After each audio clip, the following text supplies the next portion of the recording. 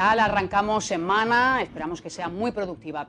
El fin de semana ha tenido prácticamente de todo y queremos saber cómo se encara este lunes. Alicia Aguilar, buenos días, ¿qué tal? ¿Cómo se presenta esa agenda informativa? Muy buenos días, Eva. Pues eso te iba a decir, que se presenta bastante animada a pesar del intenso fin de semana que hemos vivido, en el que ha habido, entre otras muchas cosas, la edición, una nueva edición del Festival Musical Marve Pop, el Congreso Provincial del Partido Popular, la Feria del Ángel, o sea que ha sido un fin de semana muy movido y hoy también lunes la agenda, pues como te digo, también se presenta animada. Comenzamos con un clásico, digo un clásico porque nos falta todos los lunes a las once y media la sala de prensa del Ayuntamiento de Marbella tras la reunión del equipo de gobierno, pues el Ejecutivo local dará cuenta de los acuerdos que se han adoptado en esa reunión ordinaria que suelen mantener todos los lunes.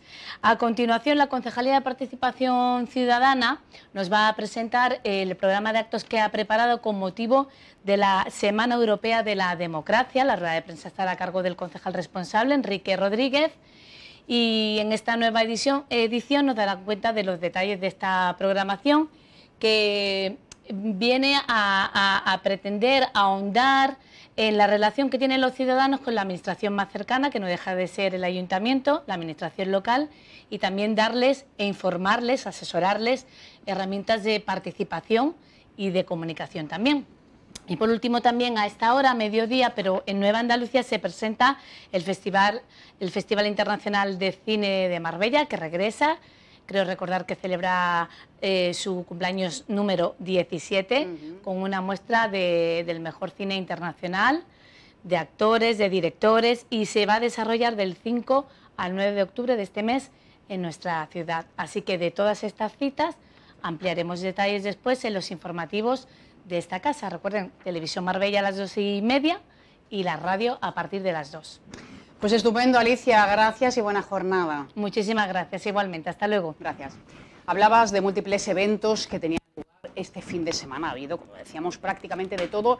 Y en dos semanas tenemos la Feria de San Pedro Alcántara, que por fin se podrá celebrar con total normalidad. El cambio, la gran novedad, pues es el recinto ferial, la finca de la Caridad.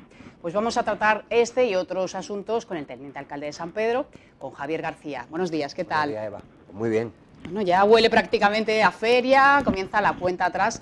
Decíamos, la Finca de la Caridad, pues es eh, la gran novedad, este recinto que ya se estrenó en la Feria de Nueva Andalucía y que permite, que tiene muchas posibilidades. Bueno, la verdad es que venimos precisamente de allí, ¿no? Ha habido Junta Gobierno, pero anteriormente hemos estado en la Finca de la Caridad, que tiene una actividad inusitada, en el sentido de que están servicios operativos, empresas, ya todo el mundo, pues lógicamente preparando estas dos últimas semanas para que realmente los vecinos de San Pedro Alcántara y de todo el municipio puedan disfrutar de un gran recinto ferial, como tú muy bien decías, este verano pues se ha utilizado para hacer en Andalucía la parte que está en la zona este, también se ha utilizado para hacer festivales de música, como el Festival de Reggaetón, que el próximo verano creo que hay mucha demanda para poder realizar todo tipo de festivales, y ahora mismo pues estamos acondicionando lo que sería un aparcamiento en la entrada, podemos decir, oeste, en la que da San Pedro Alcántara, y bueno, y preparando ya pues lo que será también el contrato de las lanzaderas, que vamos a poner transporte, que hay muchos vecinos preocupados, pero ver transporte público, es decir, cada 15 minutos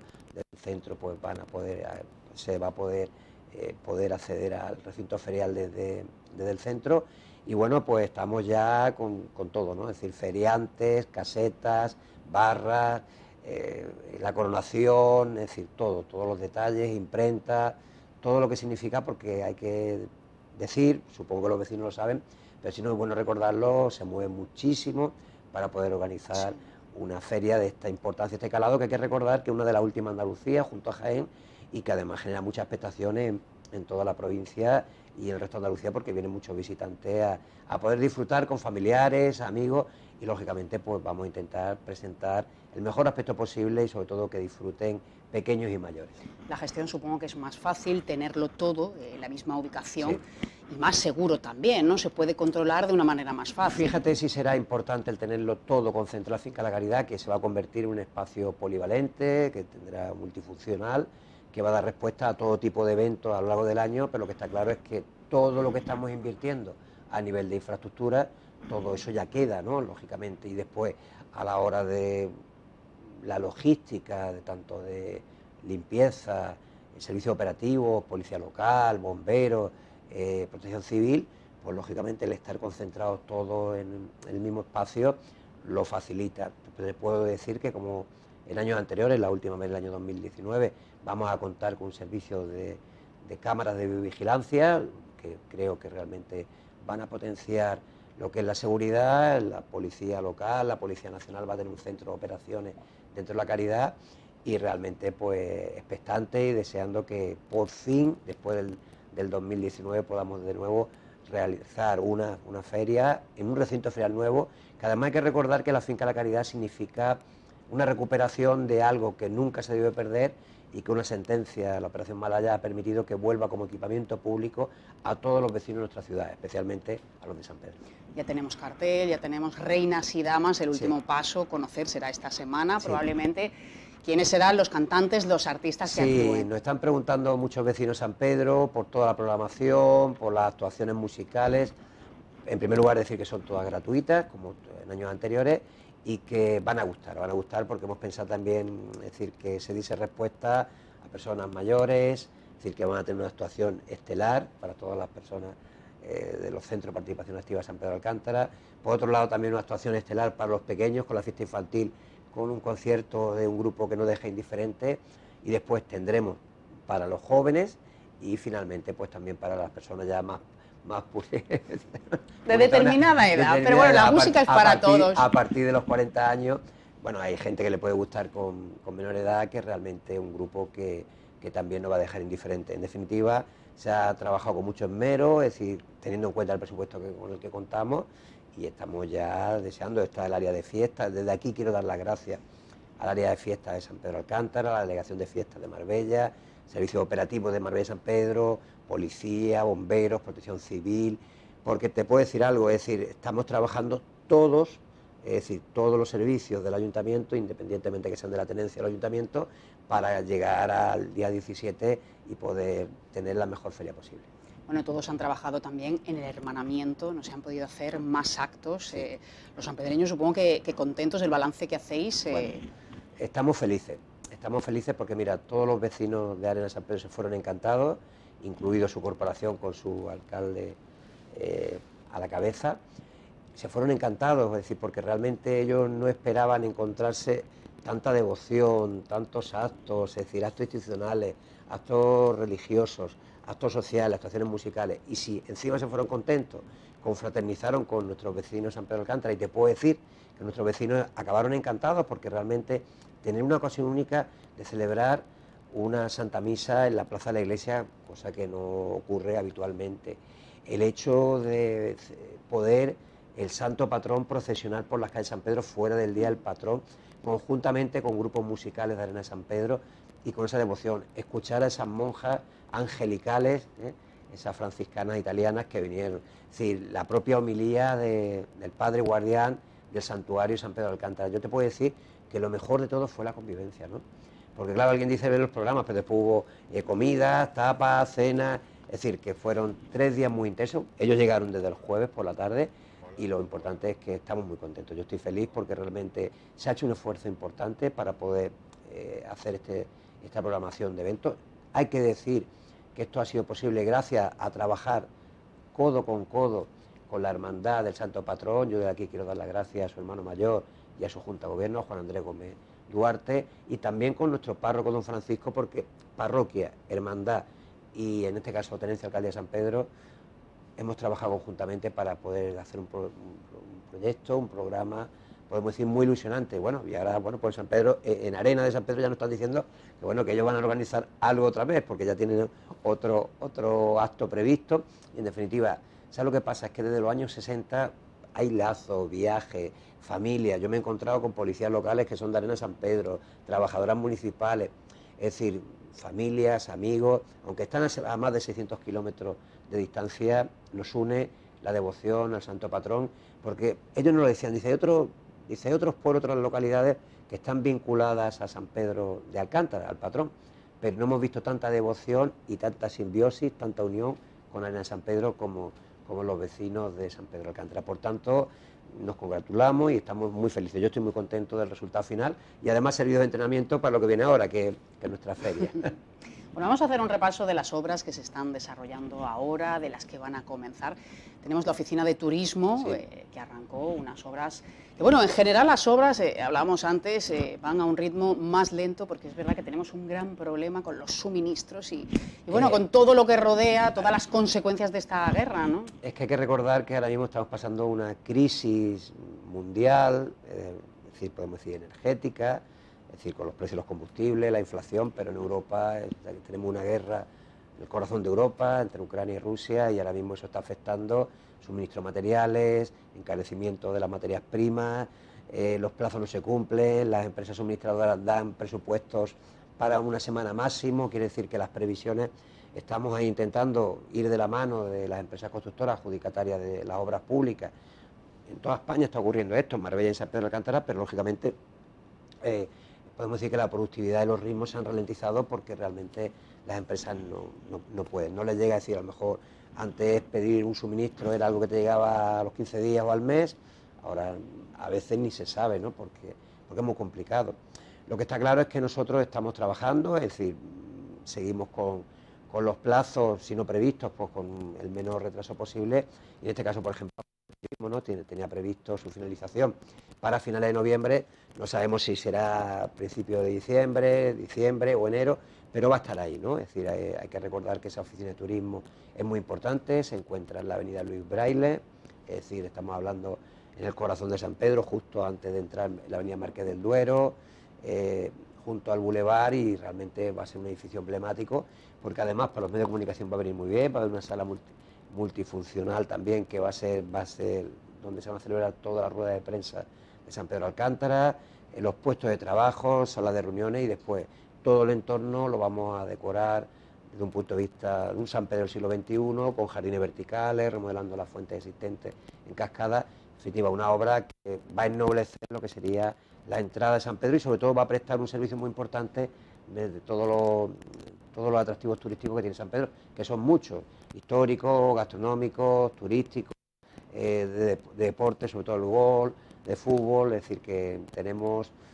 dentro de nuestra ciudad, que es Marbella, pues realmente una oferta turística muy importante y sobre todo da respuesta también a los segundos residentes. Tenemos colonias de extranjeros que ahora van por San Pedro y los restaurantes llenos de estos extranjeros que se van normalmente en verano, no, quieren, no les gusta julio y agosto, y después también comunidades de vascos, madrileños, sevillanos, andaluces, castellanos, eh, de la comunidad valenciana, gente que tiene su segunda residencia y que cada vez, después de la pandemia, pasan más periodos de tiempo de estancia en nuestra ciudad.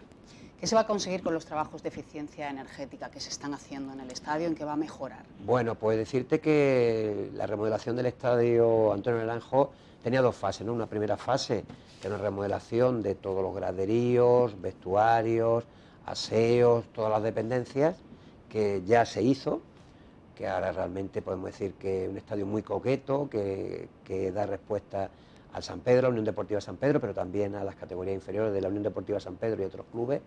Y había una segunda fase que aprovechamos una, convocatoria de fondos europeos, de los EDUSI, para plantear lo que sería mejora la eficiencia energética, donde eh, va a llevar nuevas canalizaciones eléctricas, nuevo alumbrado eh, de todo el entorno y fundamentalmente el cambio de las torretas, podemos decir, de iluminación, poniendo iluminación, es decir, que menor consumo, mucho más eficiente, de mucha más calidad lumínica y en definitiva, fundamentalmente trabajando para un ahorro energético y una disminución de las emisiones de dióxido de carbono.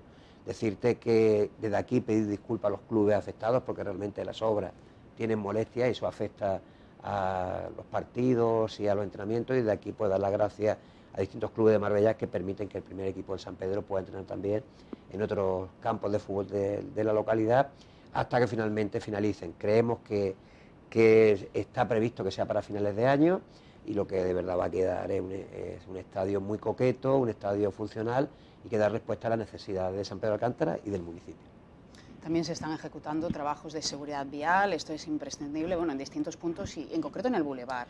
Sí, vamos a ver, el bulevar es una zona que en principio siempre ha tenido problemas de seguridad vial, incluso con, algún, con, con alguna desgracia personal, la siniestralidad y la peligrosidad era importante, se tomaron medidas inicialmente y ahora queremos reforzarla, pues normalmente reforzando todo lo que es la señalítica, tanto vertical como horizontal, el balizamiento, pasos de peatones inteligentes y después también estamos ampliando en algunas zonas las aceras, los refugios para los pasos de peatones, que cuando un peatón se incorpora a la calzada no se encuentre en, peligro y todo esto se va a acometer de aquí a final de año.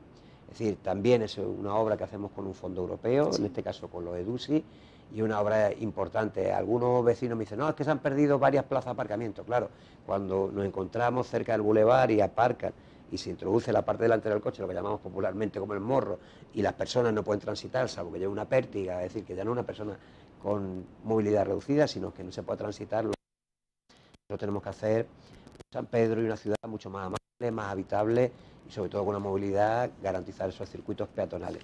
En definitiva, es una apuesta decidida por la sociedad, al igual que estamos haciendo en otros puntos de San Pedro. Bueno, muchas gracias que ya lo han hecho y que repasaremos pues dentro de 15 días puntualmente. Muchas gracias. Gracias Eva, como siempre, por llevar todas las noticias de San Pedro Alcántara. Buen día. Buen día, gracias. Bueno, hablábamos de turismo en San Pedro. al final, todos estos eventos, actos, suponen una afluencia de público. Vamos a hacer un análisis de cómo se ha comportado Marbella durante el verano y cómo lo va a hacer, cómo ha cerrado en el mes de septiembre y la previsión para los próximos meses. Hemos llamado a Javier Hernández, vicepresidente ejecutivo de AECOS. Hola, muy buenos días. No te oigo bien, no sé si tú a mí sí me puedes escuchar. Creo que a mí sí, pero yo no te puedo oír. Vamos a tratar de subir el volumen y vamos a hablar, vamos a hacer un pequeño resumen de cómo ha ido el verano, eh, que en términos generales ha ido bastante bien en lo que a ocupación se refiere, es lo que nos venía contando el sector. ¿Te podemos escuchar ahora? Sí, me escuchas. Ahora, perfectamente. Hola. Ahora, bueno, vamos a hacer un pequeño balance de cómo se ha comportado eh, Marbella, la Costa del Sol, en el mes de septiembre. ¿Cómo ha ido?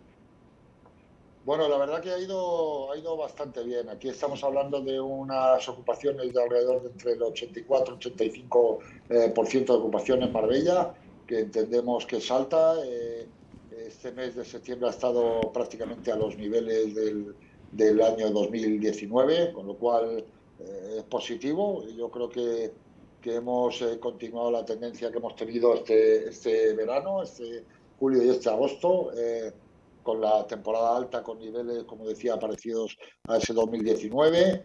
Fundamentalmente, eh, yo creo que hay que destacar que hemos tenido cierta recuperación de los, de los mercados internacionales, es decir, prácticamente eh, del 100% de turistas alojados en Marbella, el 65% o algo más del 75% han sido turistas de procedencia internacional y el resto, bueno, 35% turistas españoles o turista, turismo doméstico.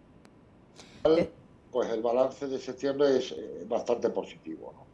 Muy positivo en términos generales, la ocupación, lo que se esperaba, pero claro, luego vosotros os habéis quejado de la rentabilidad, la subida de los precios de los carburantes, de las materias primas, hace que al final, pues eh, evidentemente el sector no llega a ganar tanto dinero, ¿no? Lo hace muchísimo más difícil. Bueno, efectivamente, nosotros Cierto es que hemos tenido unos buenos resultados eh, de ingresos, eh, pero como tú bien decías, la rentabilidad, eh, bueno, pues la línea de flotación de la rentabilidad pues ha sufrido un importante varapalo, ¿no?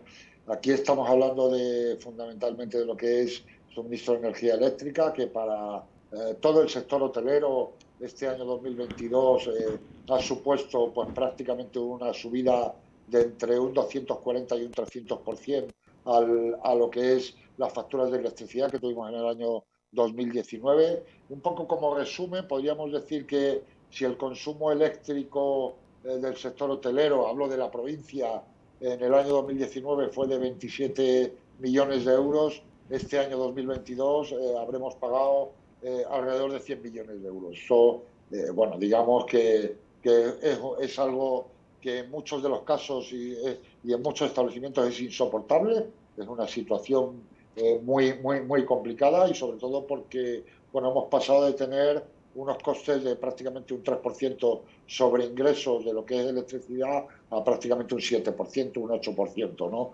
Eh, eh, todo eso sin contar con los combustibles, con lo que es la subida del gasoil, la subida del gas, las materias primas, que eso, pues de media ha subido por encima del 30%, ¿no? Y eso, bueno, pues desde el punto de vista eh, económico eh, ha sido un importante varapalo para nuestro sector, ¿no? Entiendo yo para muchas casas también, pero fundamentalmente nuestro sector, que se nutre de lo que son suministros y materias primas para poder prestar servicio al cliente, hemos, hemos tenido ese, ese importante traspié. Y en este sentido, ¿qué medidas vais a tomar para evitar una subida pues, muy grande de los precios y, en definitiva, el derrumbe del sector? Porque esto es muy negativo. Bueno, nosotros llevamos trabajando sobre esto desde prácticamente el otoño pasado. Eh, nosotros, si el, consumo eléctrico en 2019 era de 0,09 eh, kilovatios hora, eh, hoy en día está en 0,36, 0,32. 0,27. Nosotros llevamos trabajando muchos meses eh, teniendo en cuenta ya prácticamente la subida del pasado verano eh, y lo primero que hicimos ha sido, o que hemos hecho ha sido crear eh, lo que llamamos un clúster de eficiencia energética para nuestros establecimientos hoteleros y que tengan disponibilidad con varias empresas que, son, que están especializadas en el sector de la energía para poder evaluar poder eh, realizar consultas y auditorías de lo que es eh, eh, instalaciones de suministros de nuestros establecimientos y para poder ser mucho más eficientes en ese consumo energético que ya el sector hotelero lleva trabajando desde hace muchísimos años y bueno pues en este caso hemos profesionalizado y poder tener a varias empresas disponibles para nuestro sector no solo para la compra eh, global de energía, eh, sino compra de varios establecimientos eh, o bueno, conformar comunidades de consumo energético, con lo cual pues estamos trabajando desde hace varios meses en esto, ¿no? Y, para que nuestros socios puedan ser mucho más eficientes desde el punto de vista del consumo, consumo energético.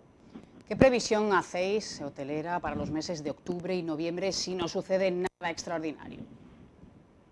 Bueno, para, octubre nosotros tenemos eh, prevista una ocupación de alrededor del 72-75% de ocupación. Eh, todavía es bajo respecto al 77-80 que cerró el año 2019, pero hay que tener en cuenta sobre todo que las reservas son cada vez de, más de última hora, es decir, con menos antelación a la fecha de llegada de los clientes y por lo tanto hacer eh, conjeturas o hacer estimaciones con más de un mes de antelación eh, es complicado, ¿no? Sabemos que el mes de octubre eh, también va a ser bueno, o sea, esperamos eh, al menos llegar a los niveles de ese 2019. la cuestión vendrá a partir de noviembre, diciembre y enero, donde la situación del conflicto bélico puede afectar, sobre todo a muchos mercados, ya está afectando. Ya tenemos ahora mismo un 23% menos, eh, hablo en general de la provincia de alemanes, eh, un 13% menos de británicos, un 11% menos de franceses, un 12% menos de irlandeses, que a veces compensado por con turismo nacional y otras veces pues, con el turismo como por ejemplo holandés. Eh, nuestras estimaciones es que de aquí a tres meses no sabemos lo que va a pasar, eh, pero de momento nos quedamos con el mes de octubre que esperamos que sea bueno. Bueno, pues ojalá que sea así, se cumplan estas previsiones. Javier Hernández, gracias. Gracias a vosotros, un saludo. Un saludo, hasta pronto. Me quedan escasos dos minutos, tiempo para saber, para conocer qué tendrá hoy Enrique Moreno en Como en Casa. Muy buenas, Enrique, ¿cómo vamos ese lunes? Muy buenas, Eva. Pues bien, desde bien tempranito ya estamos aquí preparando este programa que vamos a empezar hablando de médicos y de consultas eh, que seguramente aquellos que tengan un seguro médico habrán comprobado que les cuesta mucho trabajo conseguir una cita, eh, se demora mucho. Eh, ¿Por qué? de alguna manera. Bueno, si esto es privado y, supuestamente debe ir más rápido que quizás el sistema público. Pues bueno, pues no es tan, no es tan claro el tema.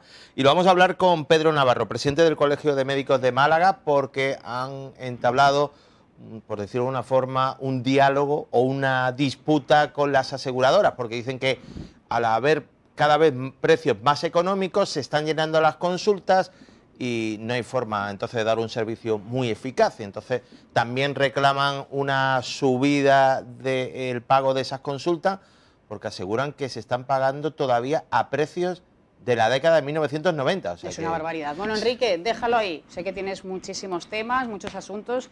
Este fin de semana ha habido de todo, así que supongo que lo reflejaréis. Pues nada, buena mañana, gracias. Igualmente.